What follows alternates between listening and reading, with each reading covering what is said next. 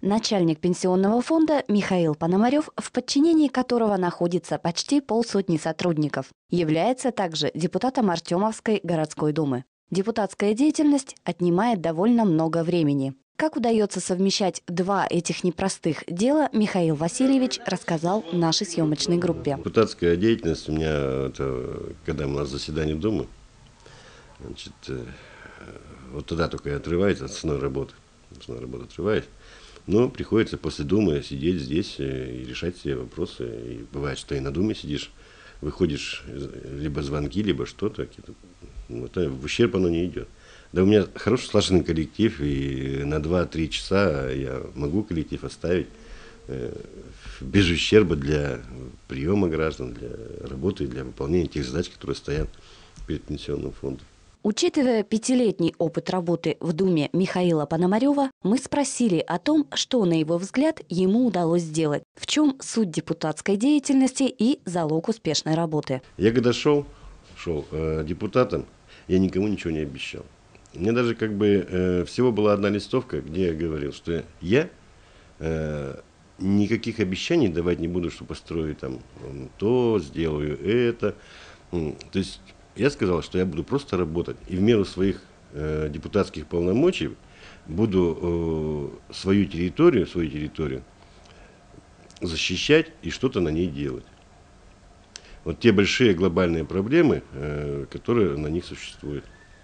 Э, территория же большая, территория большая. Мою позицию это село Большой Трифоно, Малая Трифоно, Кислянка, Березники, э, квартал Березовая роща, Низивай, и вот эти большие территории, большие территории, э, на них проблем, мне кажется, даже больше, чем э, на городских округах.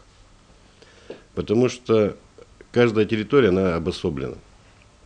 И проблема водоснабжения, газификации, она э, должна решаться как бы на каждом населенном пункте по отдельности.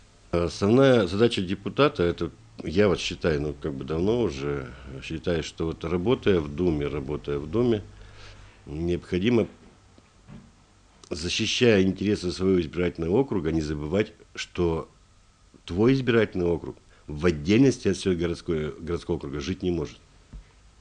Можно биться, можно выбивать деньги, но когда-то вы, можно выбить деньги, можно порешать проблемы. Но это все должно быть в рамках общего развития городского округа.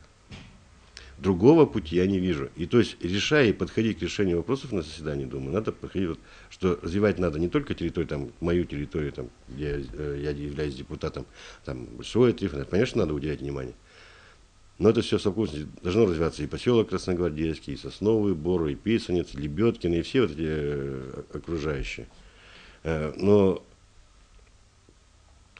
я прекрасно понимаю, что бюджет не бесконечный, и вольно, невольно, субъективно, не субъективно или объективно, не знаю. Все равно основные средства э, оседают э, в городе. Позиция моя, она вот сегодня родилась, она родилась не сегодня, не вчера, и вот то, что э, я говорил, буду говорить, что вот то, что мы сейчас сделали, э, глава городского округа и, и Сетимир же глава администрации, может быть, в принципе, э, это и правильно было сделано но решение проблемы неправильно абсолютно.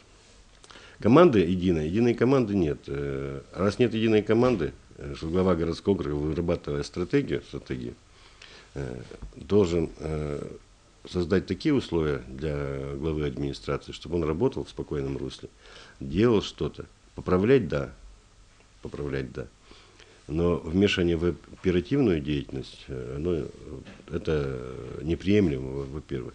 Почему? Как только начнется вмешательство в оперативную деятельность главы администрации, э, начинается, начинается трение, начинается э, отступление в эффективности работы назад. Во-первых, надо идти э, на, на разговор, первое, разговаривать.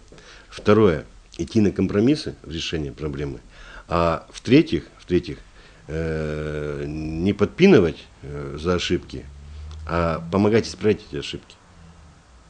Если мы будем говорить, что э, та или иная, вот как три сказали, глава городского округа, глава администрации и Дума, будут друг другу э, указывать пальцем на недостатки, то эффекта в работе совместно не будет.